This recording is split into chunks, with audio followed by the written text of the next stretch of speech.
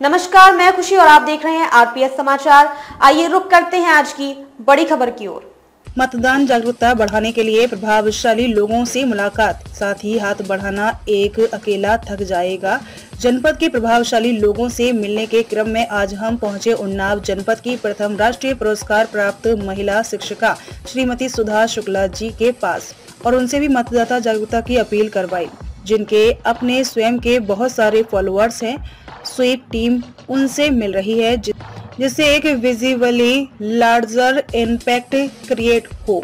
RPS समाचार की report. अब लोकतंत्र का ये पर्व आया है, लोकसभा का चुनाव, जिसमें कि हम लोगों की ज़िम्मेदारी बनती है कि हम अपने योग्य प्रतिनिधि को चुन करके उस जगह पर बिठाएँ जहाँ से वो सारे देश का शासन चला सके।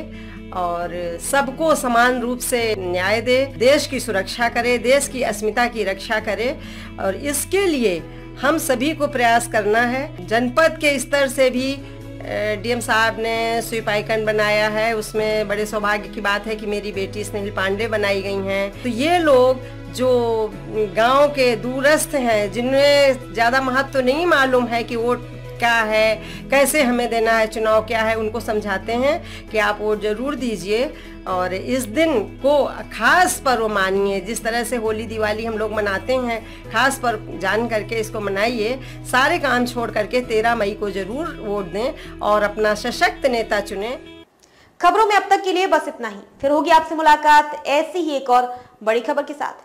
तब तक के लिए नमस्कार और देखते रहिए आरपीएस समाचार। ऐसे ही लेटेस्ट अपडेट्स के लिए हमारे चैनल आरपीएस समाचार को सब्सक्राइब करें और तुरंत नोटिफिकेशन पाने के लिए बेल आइकन प्रेस करना ना भूलें। अगर आपको हमारी खबर पसंद आई हो तो इसे ज़्यादा से ज़्यादा लोगों तक ज़रूर पहुंचाएँ।